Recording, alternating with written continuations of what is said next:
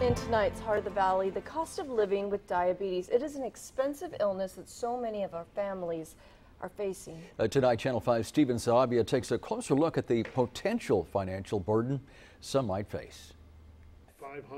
It's a number that keeps rising. Your doctor appointments, your blood test, your everyday testing, and your everyday supplies.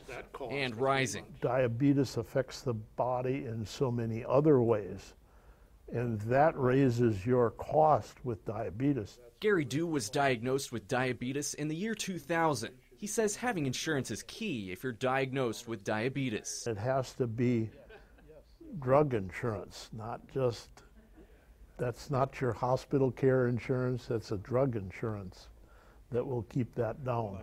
Even then, insurance doesn't cover all the costs. Dew keeps track of everything he spends that goes towards diabetes. Last year was $5,000. That number is actually less than what the average person pays. According to the American Diabetes Association, a person with diabetes pays around $7,900 a year.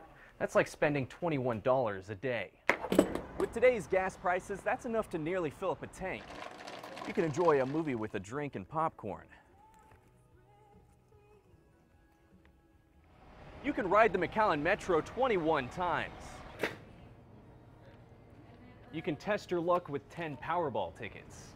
If you save that much for one month, you'll roughly have $650. That's enough to cover rent for some places here in the valley.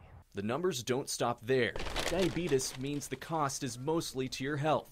You end up having problems with your arteries. They have to go in and put a stent in it, or uh, it affects the heart.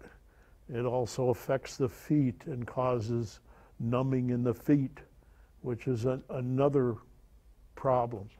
These add to the overall annual cost. It's probably on uh, 10 to 12 thousand that I pay along with my insurance companies.